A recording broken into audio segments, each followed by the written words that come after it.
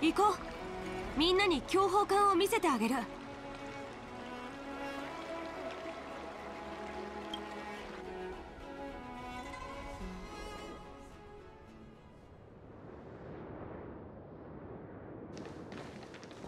強砲艦を見に来る人は意外と多いんですね。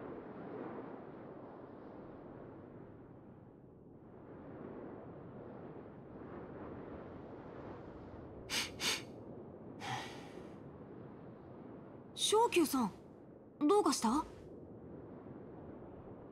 いえ何でもありません。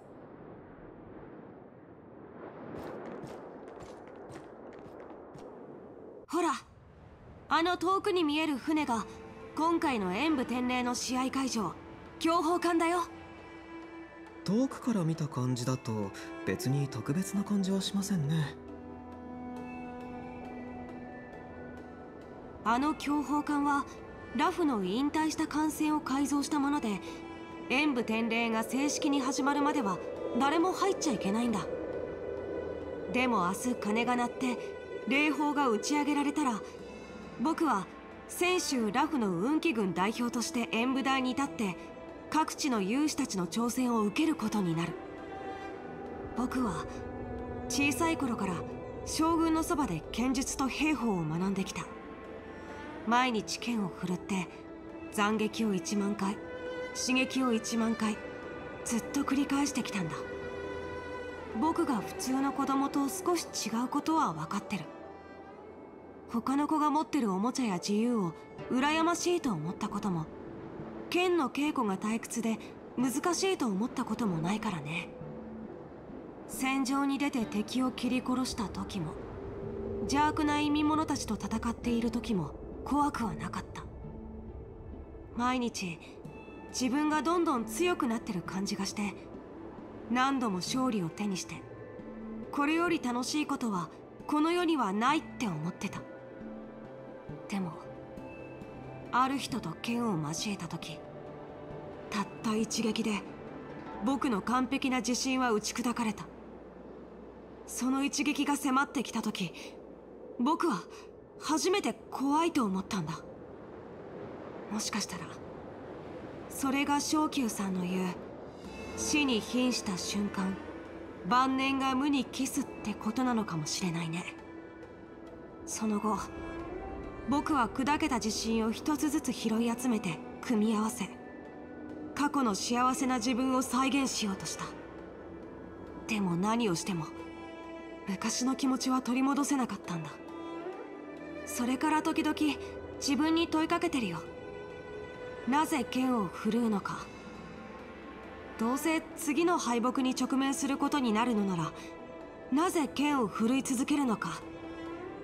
勝利の喜びを取り戻すため将軍の期待に応えるためそれとも運気軍として功績を残すため。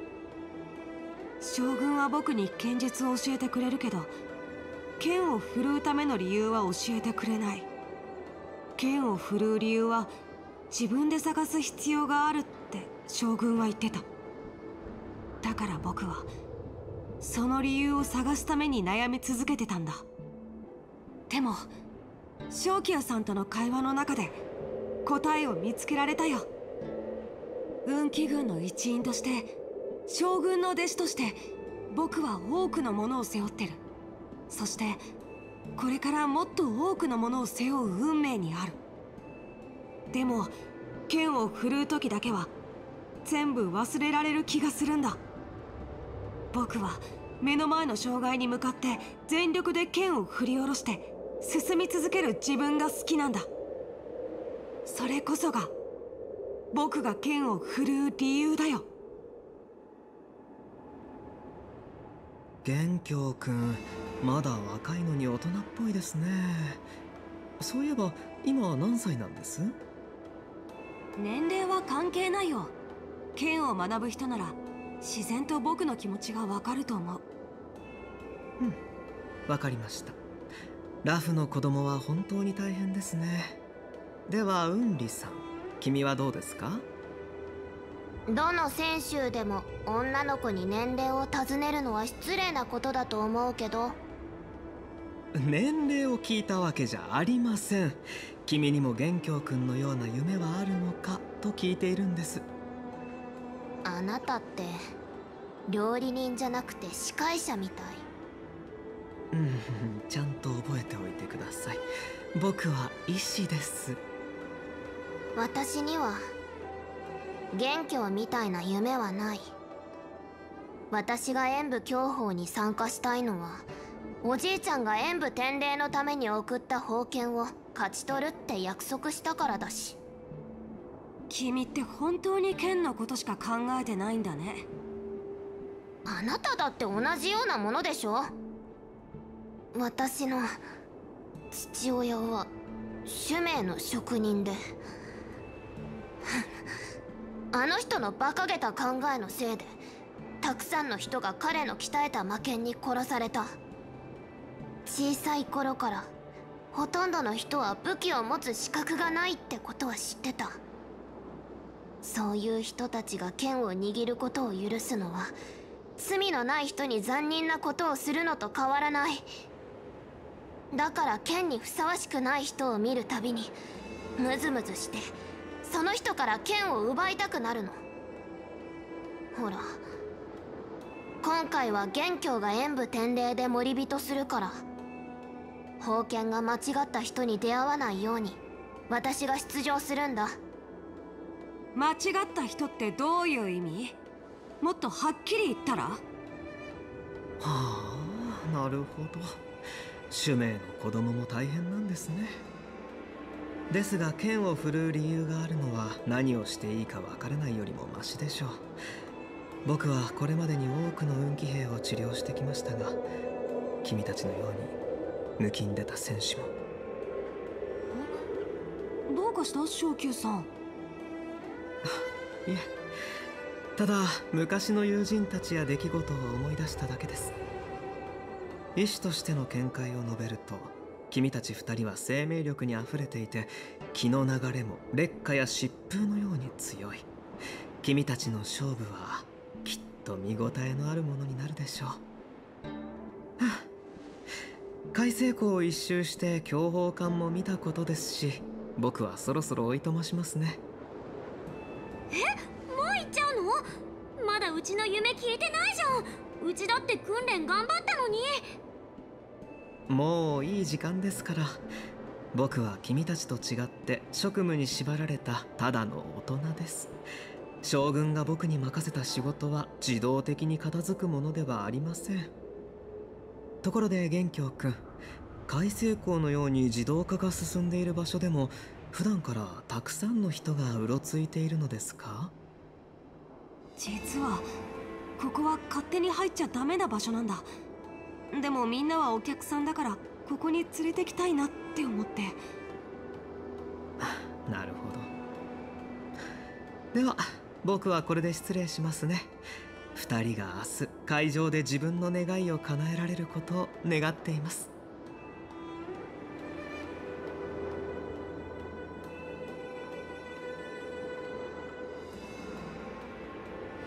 もう自分の夢は何なのかずっと考えてたのに結局聞いてくれないなんて。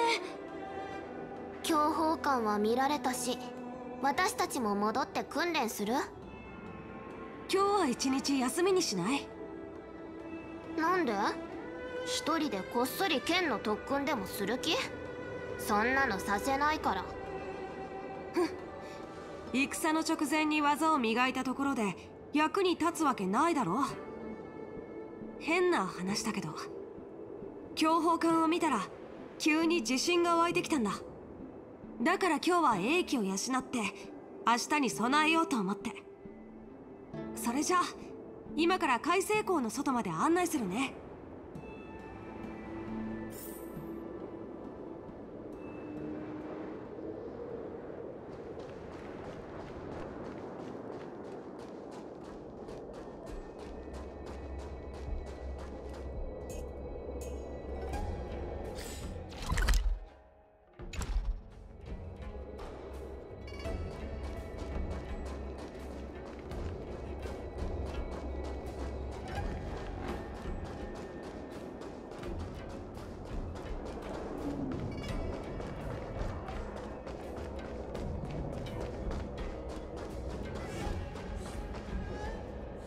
黙れジアここの船は縦艦じゃない。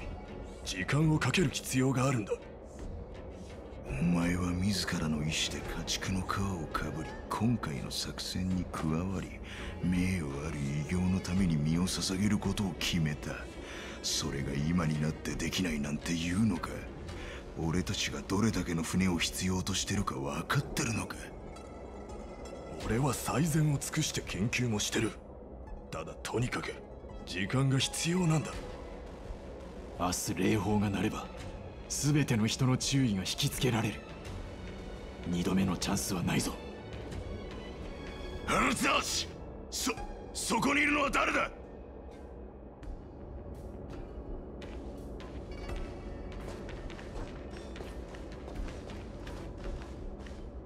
君たちは？ここで臨時検査をしてるんだ。そっちこそどうして関係ない奴が海星港にいる。しかも子供じゃないか。ちびっ子たち？親に教わらなかったか？海星港は自動で動く施設だがだからといって勝手に入っちゃダメだって。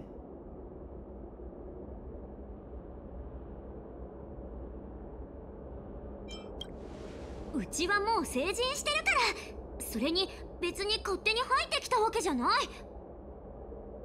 そうだよおじさん。僕たちは聖さんに乗ってここまでピュンって飛んできたんだ。別にお前たちを責めてるわけじゃない。ただここは一般人は立ち入り禁止の場所なんだ。お姉ちゃんお姉ちゃん行こう。この後ね僕ね英酒原野に行きたい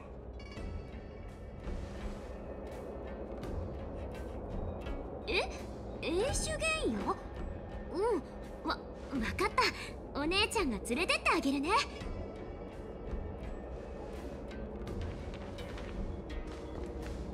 しゃあ俺が。し点検は終わった。異常はない。俺たちもそろそろ行くとしよう。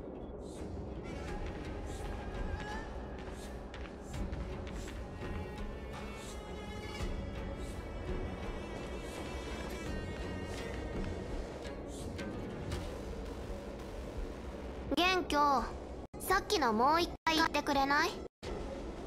さっきの？おんちゃんおんちゃん行こうってやつ。勘してよ。君って永遠に空気が出ないの？さっきの3人。かなり怪しかったのに。そんなのバカにだってわかる。私はたださっきのセリフをもう一回聞きたいだけ。あの桃色狐言いたいことがあるみたいだった。きっと何か察したんだろうね。でも彼はここに詳しくないからいなくなる前に海星港にこんな人がいるのはおかしいって案に示してくれた。それなのにまさかあなたが無視するなんて。僕だって気づいてたよ。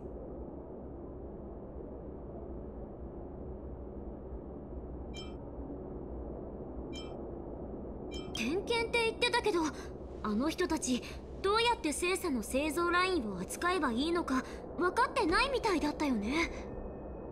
私たちに気づいた後ちょうどよく点検が終わってどっか行っちゃうなんて怪しすぎる。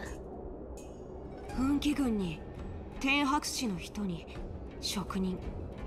職種を考えれば点検だって言われても納得できるけどさっきの人何か変なこと口走ってた。二人は聞こえた。これは僕の勘だけどあの人たちの後をこっそりつけたら化けの皮を剥がせる気がする。ついてきて。見つからないように気をつけてね。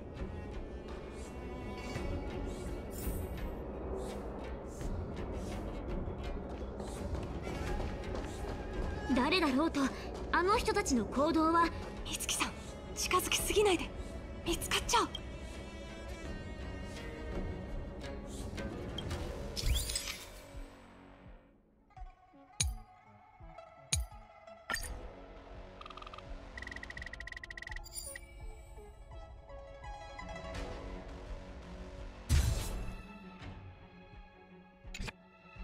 さっきの3匹の家畜は殺すべきだっ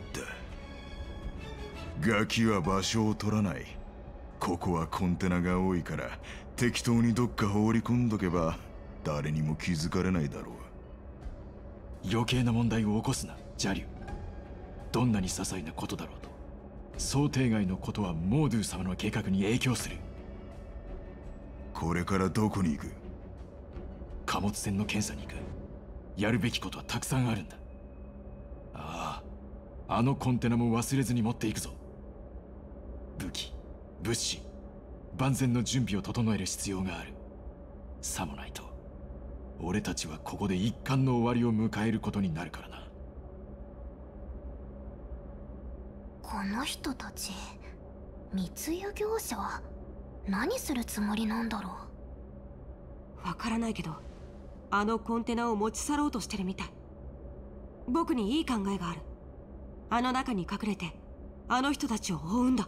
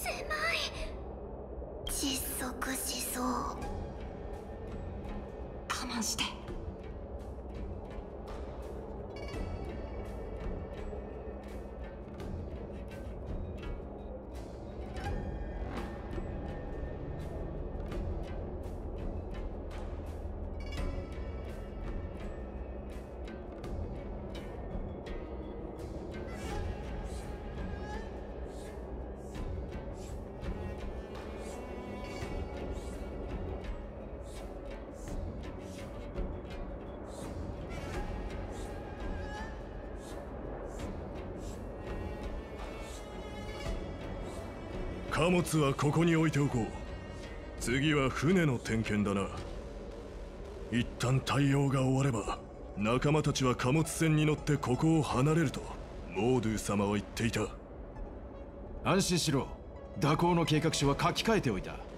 二人ともついてこい。妙だな。なんでどこに行っても家畜どもの匂いがするんだ。疑心暗鬼になるのはよせ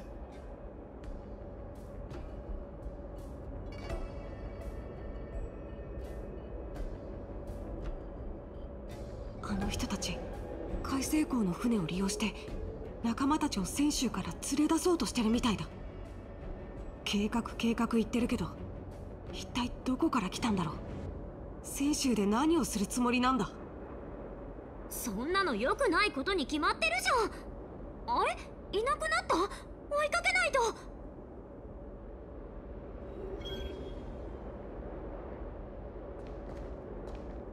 足取りは軽く呼吸は浅く常に相手の行動に気を配って動きがあったらすぐに隠れるんだ。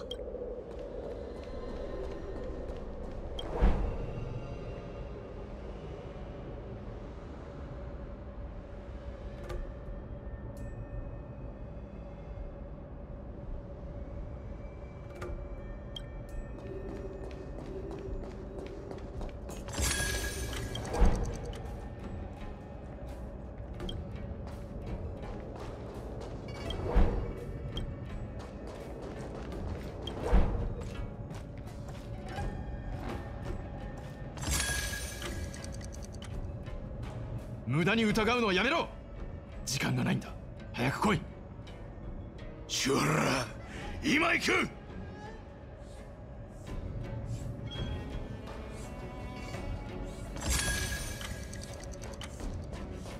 行っちゃう早く追いかけよう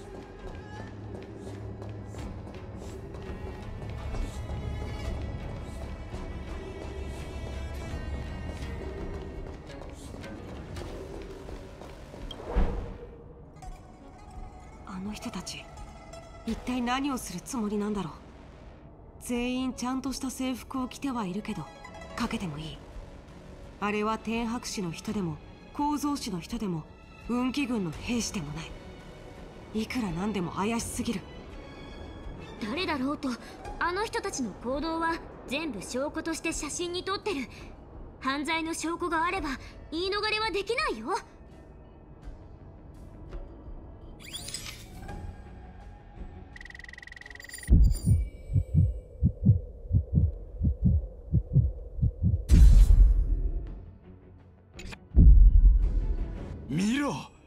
輸送用精査1層で少なくとも仲間を20人は送り出せる。他の仲間にも連絡してもっと用意してもらうつもりだ。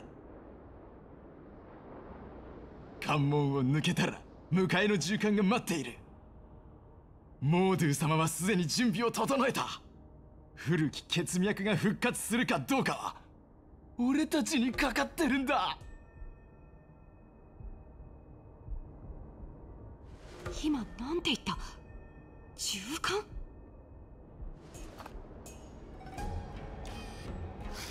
誰だ？あのガキどもだ！すぐに始末すべきだって言ったのにお前が聞かなかったせいだぞ。この脳なし！生かしてはおけない。やるぞ！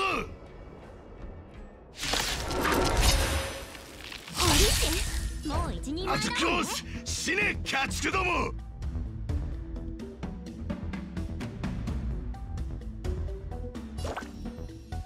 お疲れ様。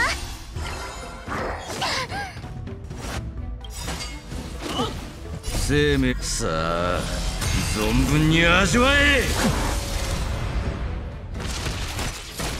立ちなさい。懐かしい感覚。素晴らしい。さようなら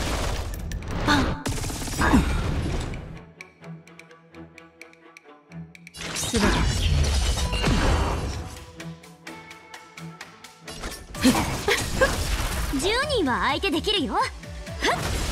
落ち着いて。この程度か？引導を渡そう全員し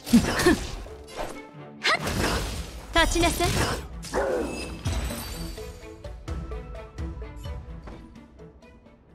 ありえない。この古族。どうして？どうして姿が変わったんだ？こいつらは古族なんかじゃない。ただ正体を表しただけ。こいつらは正真正銘のホリ人で私がカンパニーの船で倒した強盗たちの仲間。それってつまり？